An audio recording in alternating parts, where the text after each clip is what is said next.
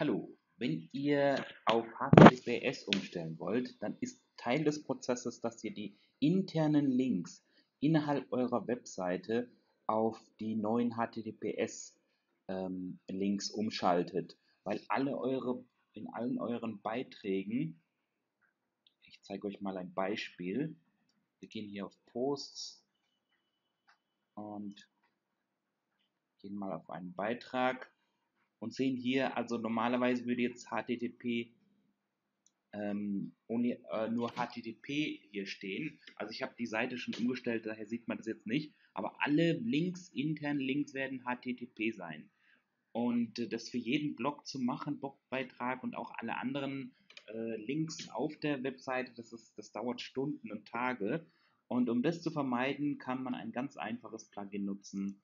Und äh, wir gehen mal auf Plugins und Add New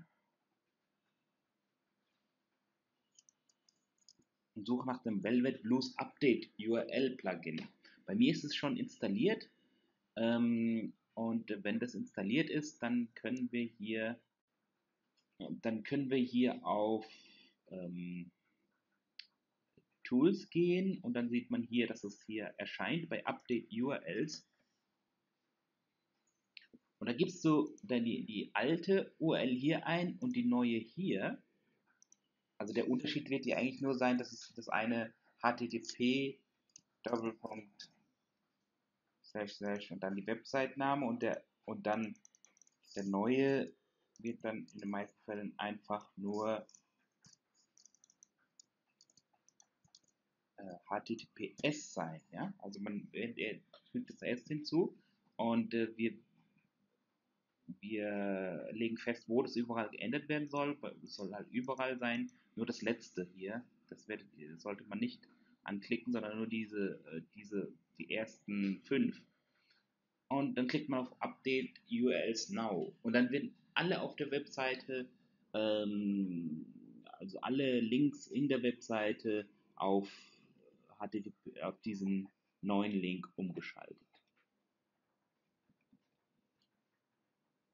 Genau, so einfach ist es. Und äh, wenn ihr mehr Fragen dazu habt, dann könnt ihr auch unseren Blogbeitrag äh, lesen. Der ist auch in diesem, unter dem, in dem Link unter diesem Video. Und ähm, vielen Dank fürs Schauen für dieses Video. Und wenn ihr weitere Fragen habt, könnt ihr die einfach in der Kommentarfunktion äh, hinterlassen. Oder aber ihr ähm, könnt auch im Blogbeitrag kommentieren. Ähm, abonniert diesen Kanal, wenn ihr weiteres Interesse an Videos habt. Äh, vielen Dank und äh, vielen Dank fürs Schauen.